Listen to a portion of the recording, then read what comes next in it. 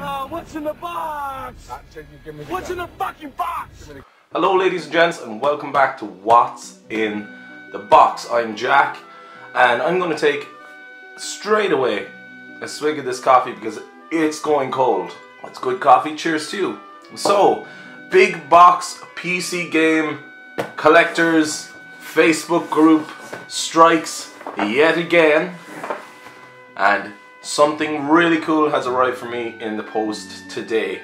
I must quickly, right off the bat, give a shout out to the man who sent it to me. Really, really nice man, a gentleman, I would say. Andres Ortega, thank you very much. This one came from him. He has, in the past, given me some fantastic deals on games that are quite hard to find. You're an absolute gentleman for sending this one over to me, and I'm really, really looking forward to opening it today. I'm gonna get right into it. The best part, and it's such a uh, it was so nicely packaged. You know, you don't, you just don't get that from people who don't know anything about big boxes. The, the men and women who know about the big boxes send them the correct way with lovely cardboard boxes. Right, I'm gonna get it open.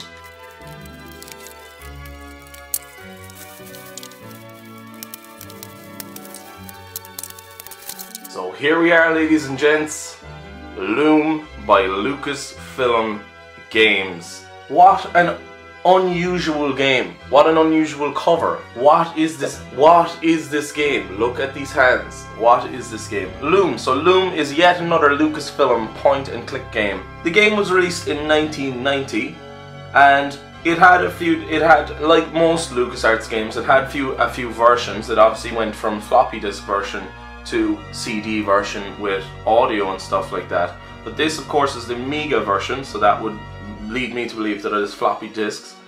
But yeah, it's in great condition, great nick, lovely cover again. It's such a weird game. I haven't played it yet properly, but it kind of takes the point and click interface and changes it with these magical spells that you do using notes on a musical scale. It's very strange. It's uh, very hard to explain. But it's a game that I have been looking forward to playing because it's so different. Of course, it's by Brian Moriarty. Really, I think that's kind of one of the... It's one of his games that he's known for is Loom. I'm not really sure what else he was involved with in the times of Lucasfilm and LucasArts. If anybody does know, let me know down in the comment section below. But yeah, Brian Moriarty certainly was known for Loom. And of course, the art was done by the wonderful M. Ferrari. That's Mark, Mr. Mark Ferrari. He is one of the best 8-bit, 16-bit artists, 8-bitish artists I have ever come across in my life. He ha he's known for doing the EGA version of Monkey Island. He's known for doing the art 16 color EGA Loom. And of course, some of these covers were done by Mark Ferrari. This is a Mark Ferrari drawing, of course, by it says it down there. Really, really cool. He also did, most recently, did a lot of work for Thimbleweed Park, background art, again on the PC. Absolutely fabulous. I think this box is in absolutely brilliant condition, which is excellent. It's in top nick. I know there's one or two little just stains here and there, but I think I'll be able to get them out with a little bit of TLC in the future. Nothing is badly damaged though. It's all the box is still kept its shape. It's in really good condition, which is great. I'm very happy about that. Yeah, so here we are. uh, coughing for the men. Yeah, and it's got it's a fantasy adventure. So I'm gonna zoom in here again so we can see the back of the box just a little better. Ah, lovely. The phone is going off. I must answer that. So that phone call that I just got was a Windows technical support, which is quite funny and clearly was a phishing scam but it's just hilarious that they are still ringing people around the world. Like surely at this stage I hope uh, Windows phishing scams are common knowledge. Uh, yes but as soon as he heard that I wasn't uh, the owner of the house uh, he hung up the phone immediately clearly trying to go off and scam someone else out of their money. So be aware of that ladies and gents. Anyway back here. So we are helping young Bobbin basically that's our character a young weaver and we can have we can use magical spells and stuff like that that he clearly learned from being a weaver and playing with the loom and stuff like that I believe this game ends on a bit of a like cliffhanger. I've read it was supposed to be a trilogy, I think, but I'm not really 100% sure whether Loom sold very well at the time or not. Fantasy games, Jesus, fantasy games in general, I suppose, were being sold hugely in America anyway by Sierra Online with King's Quest that the Loom I suppose kind of got swept under the rug a little sadly but it looks great. It's a really fabulous looking game. That Mark Ferrari art is, is brilliant. Like it's it's top class. Just what he did with only 16 colors particularly on the EGA version is pretty mad but it looks great in VGA of course as well. So I'm gonna get it open anyway. Right so here we are removing oh I have a very bad cough removing the cover. Here we are. So yet again I've come across these before. If you've seen other what's in the box videos here is a code reader for basically their DRM solution back in the day was you had to have a book and you had to have this little red code reader in order to be able to read the code that would allow you to progress in the game. But of course, for, like I own this on GOG so it's not really needed very much anymore but it's nice to have to be fair. You know we'd all love to have the IBM versions of all the games that we love but of course the thing is this that they just do get very expensive and I'm not too pushed considering I do own this on GOG and that's great that GOG have put out Loom. So we get our three Amiga discs, disc 3, 2 and 1 for Amiga 500 up to Amiga 2000 at the time. Uh, I'd love to have an old computer that wasn't IBM based or compatible because I think they're very, it's a very like forgotten time in computing at the moment. These older computers like the Commodore 64, um, of course uh, like uh, an Amiga 500 to 2000, you would the older Macintosh with PowerPC of course, which is kind of a dead thing because everything uses Intel now. It's Just a really interesting time and I would love to own one of those all-rounder machines that kind of died out really I suppose once uh, the IBM and its compatibles took over and PCs just became uh, I suppose they, they just became compatible with each other once Windows kind of started coming in, Windows 95 and, and, and, and upwards. Yeah, it's just really interesting. I think it's an interesting time. Anyway, right, so we've got the Loom manual in black and white. I know I've been talking on here now for a while. A Fantasy by Brian Moriarty. Characters designed again here by Gary Winnick, strangely enough. And I didn't know, I knew that Stephen Purcell did a bit of, uh, uh, he did art for quite a lot of the LucasArts games at the time, the early 90s. But I didn't know that he did animation as well, which is interesting there. Yes, so we've got how to play the game, of course. Things to try on the island of Loom. Loom is the island. That now I didn't know. I thought uh, so. The island itself is called Loom. So we have a Lucasfilm product guide, I think. This now is very old looking. I've never seen one of these yet in person, so this is a first for me. Oh yeah, this is a really old looking product guide. A flip up product guide. Very reminiscent of the uh, Prince of Persia 2 box. We are Maniac Mansion selling Maniac Mansion. That now is weird, like product guides for Maniac Mansion. it just seems such like an old thing. Unreal Battlehawks 1942. Oh, we've got, of course, Zak McKracken here, which is a David Fox game and goes for absolute oodles of cash. Pipe Dream here, another game that's uh, just, you know, everybody's played some version of Pipe Dream. If you played Bioshock, you've played Pipe Dream. Loom here again, selling the game that I already have, which is quite interesting. Um, oh, and little t-shirts and stuff, and mouse pads. T-shirts, yeah, a Loom t-shirt. That'd be cool, and a Zak McKracken t-shirt. I think I've seen David Fox in that exact Zak McKracken, well not that exact uh, Zak McKracken t-shirt, but he has a t-shirt like that that he wears from time to time on interviews and stuff that I've looked up on YouTube. A hint book, of course, for the games. And finally here, just some more, uh, the Loom compact disc. Here, the magical story and superb soundtrack of Loom on one full fidelity limited edition compact disc. Uh, yes, so sadly, of course, with this version, um, Andres didn't have it in the game.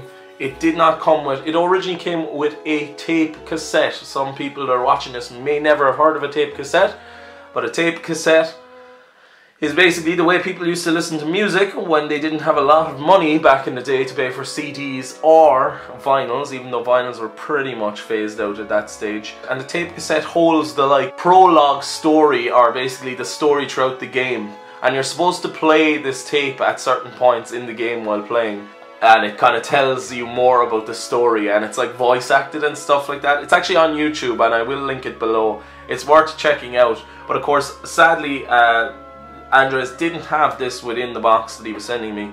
So it kind of was lost to time or whatever. But what I'm thinking of doing is I'm actually thinking of making up my own cassette for this loom box which I think would be really nice. And I'll just get like you know the artwork and I'll print that out in some way. But anyway continuing on sadly about that but a reference guide or oh no one of these yeah you send your post in basically customer information for Lucasfilm. A reference card of course. What what good LucasArts box would be free of a reference card so there you go, there's kind of again a close-up of their weird system that they have in play with that musical stave using crotchets of different notes on the stave and then you can actually correspond notes on the keyboard to the notes on that stave.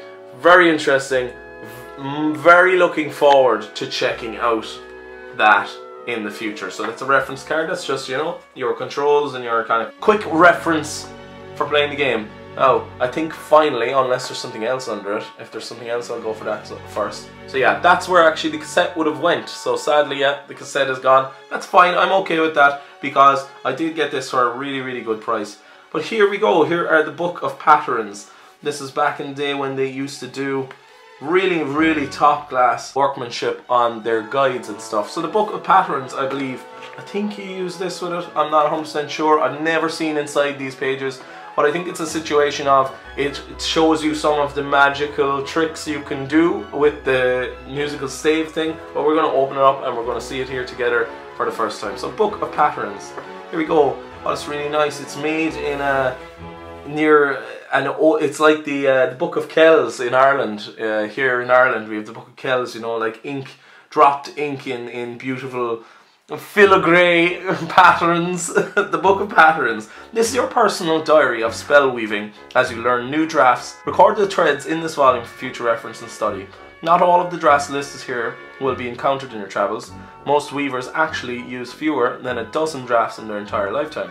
Nevertheless, by familiarizing yourself with the knowledge in these pages, you will be prepared to deal with the events unforeseen by the elders. A wise spellweaver always writes in pencil. Yes, so you can rub it out. That's a good idea. This is great. It's a, a really nice. Um, the pages are like that's a really high quality kind of slight card. It's near card quality. It's very nice and nice color as well. Kind of be off beige color. Oh, this is lovely. Opening you can learn how to do the opening spell, so that's obviously open doors, ECED. You play in ECED. I wonder does it make notes as well along with the sound chip. And then you can learn these uh, spells as you go along and you write them in. That's very cool. Night vision, rending, healing, shrinkage, invisibility, so we might we might have to sneak past a few people in the game. Warmth, I suppose there's probably part where we get very cold send people to sleep, sleep, and just little places for you to pencil in what the notes are as you're playing along in the game. And I suppose learning these spells are probably parts of the puzzles as well. Transcendence, and they give you transcendence here at the end. Unless somebody, did somebody else draw that in? Somebody else drew that in. So these two were actually drawn in, and they weren't drawn in in, um, yeah, they were drawn in in pen. They weren't actually drawn in or printed in. Okay, and if you're having trouble, this is where the reference card situation uh, is, is coming along. So you obviously you hold you hold the red in front of it and it reveals the hidden message inside. Quite cool. I won't be using that. So the book of patterns is kind of like a hint book maybe? Anyway ladies and gents, that really is Loom. There's not much more to say about the game. Actually, I'm going to leave them till the end. There is one thing I would like to add to this, and that is some protection from the elements. Now you're thinking, how do you do that? Well, I'll show you. A while back I got my hands on these plastic see-through covers and they turn into boxes. So I'm going to do one up here for a Loom and I'm going to place it in to keep it safe from all of the pressures of the outside world. You have your box and you just slide your game into the box and they fit perfectly. You close it up and there she says, quite safe from the outside world and you can still see the art because they're nice and see-through. Yet you can, you know, it can take a little bit of weight on it because these boxes are, you know, strong as well. They're strong and rigid but also soft in a way like it's a nice plastic and it just keeps the game safe. So there we go. Ladies and gents, thanks very much for watching. Hope you enjoyed this. Hope you, if you've never heard of Loom, you do check it out because it's kind of a cool game, kind of weird game.